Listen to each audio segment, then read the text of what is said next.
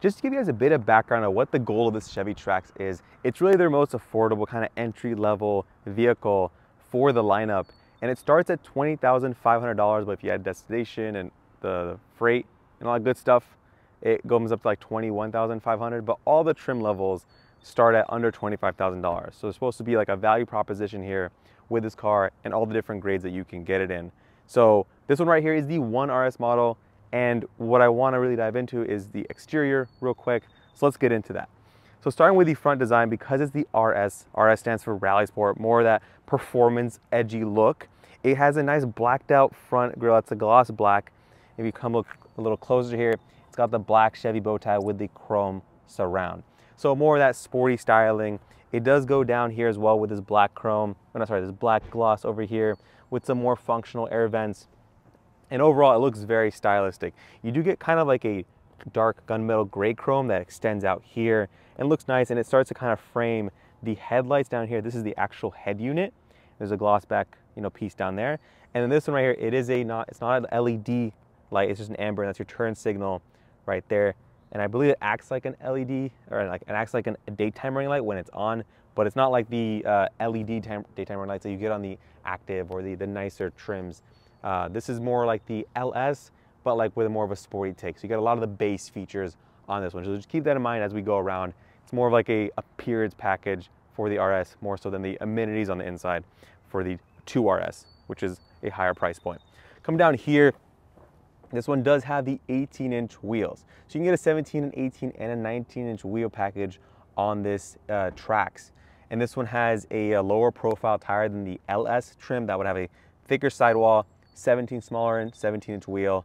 Uh, these ones measuring at 225, 55, R18. You guys are curious, another the Assurance. So more of an economical tire.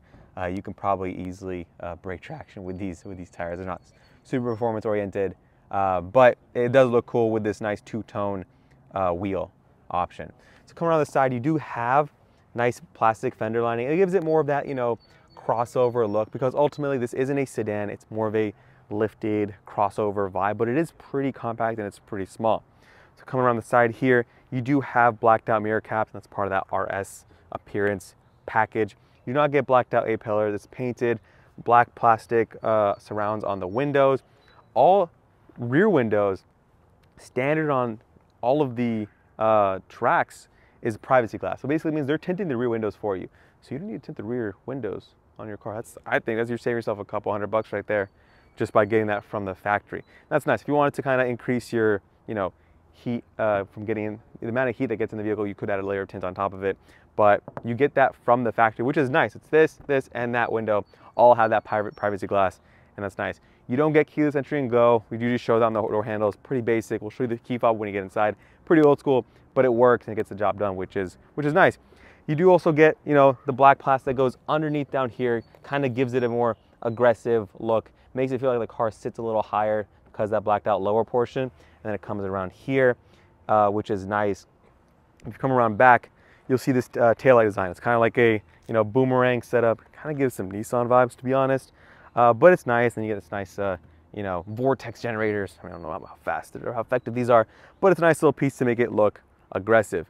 Take a step back though, get a nice view of the full like rear three quarter right here.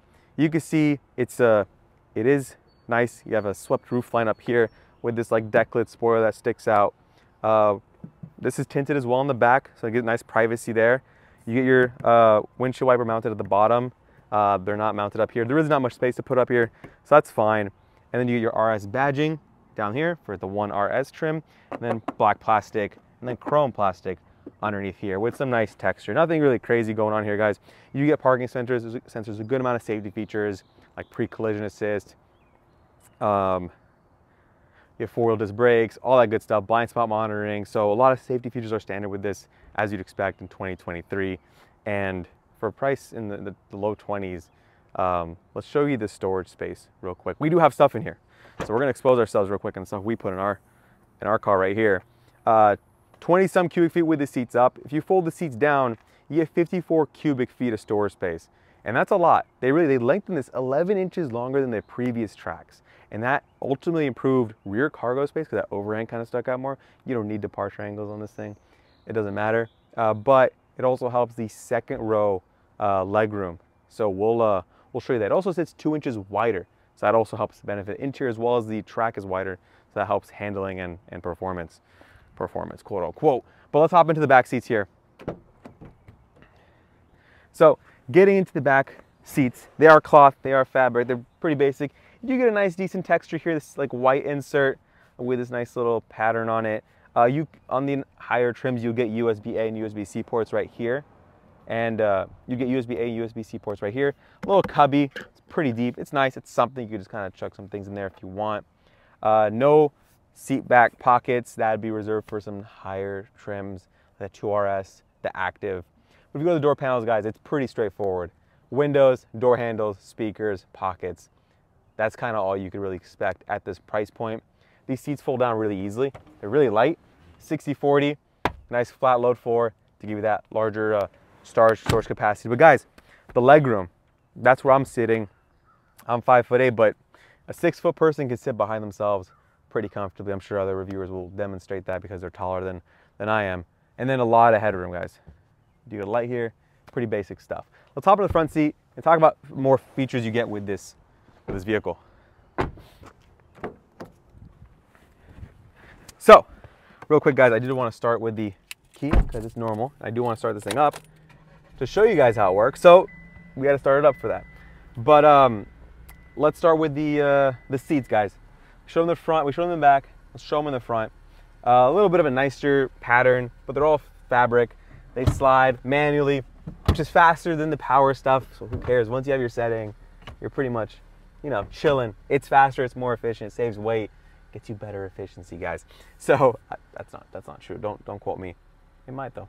Uh, but as far as the RS one or one RS trim goes on the inside, it's really more that sporty appearance. So you get that on the dash. These vents have a nice red accent around them, and that's cool. A nice red uh, line that goes here. This, this little texture kind of fades into nothingness. I like that it's not piano black, not fingerprint, you know, magnet. And this nice texture up here, I like that a lot. Even though it's plastic, they embrace it and they make it look cool. And then we go into tech, guys. 8-inch touchscreen standard, even on the LS, the base model. And that's an 8-inch touchscreen that gets wireless Apple CarPlay, wireless Android Auto. But the thing that's a little annoying is there's no wireless charger on this base model. So having a wireless Apple CarPlay in a car that doesn't have wireless charging is kind of, I feel like a, it's, it's like a contradiction. You don't really want that. You do get USB ports. You're gonna plug in anyways, so you might as well set up as a wired Apple CarPlay so you're not accidentally draining your battery if you're not using it. So just keep that in mind. But it is convenient for people who want to use it, they can.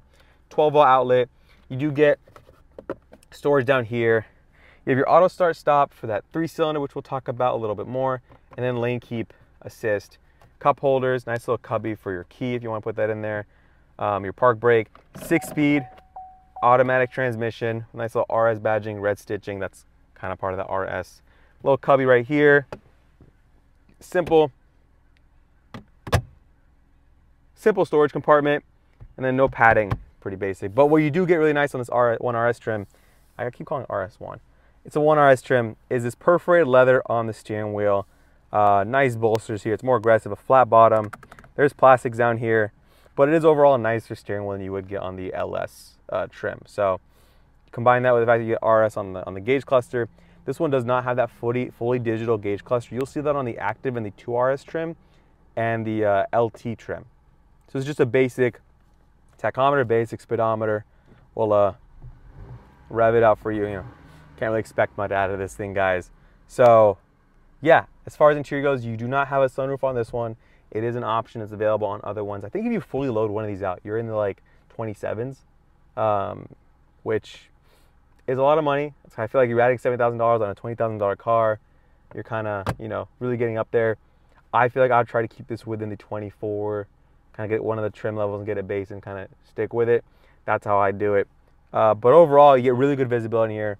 Um, we drove it around and it, it drove well. It was very comfortable, very well insulated because this has noise cancellation standard. So it uses the speakers and microphones to uh, cancel out those uh, constant frequencies.